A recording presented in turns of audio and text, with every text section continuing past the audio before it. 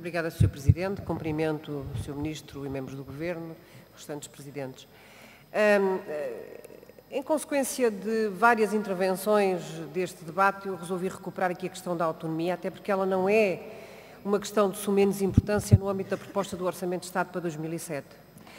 Tanto mais que um governo que se vê na necessidade de escrever na sua nota explicativa, logo no topo das suas prioridades, isto, assegurar a autonomia constitucional, é porque alguma coisa se passa. Ou melhor, se passou.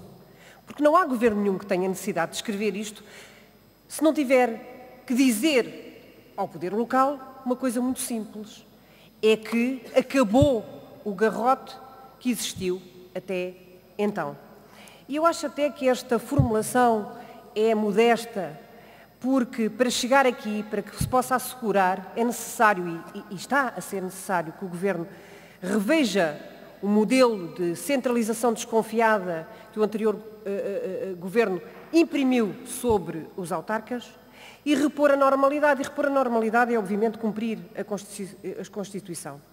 E, para além de repor, o Governo está a fazer uma outra coisa muito importante e que eu apelava, aliás, ao Sr. Ministro para nos especificar aqui melhor, que é a ampliação dessas, dessa autonomia naquilo que se refere ao reforço da autonomia fiscal, mas também à forma de assegurar a autonomia na gestão dos trabalhadores.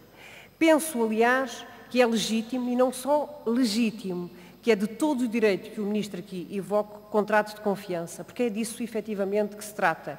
E este processo da autonomia permite uma outra coisa, permite ganhar confiança para um tema que tem estado aqui recorrentemente a ser debatido, que é a questão da descentralização.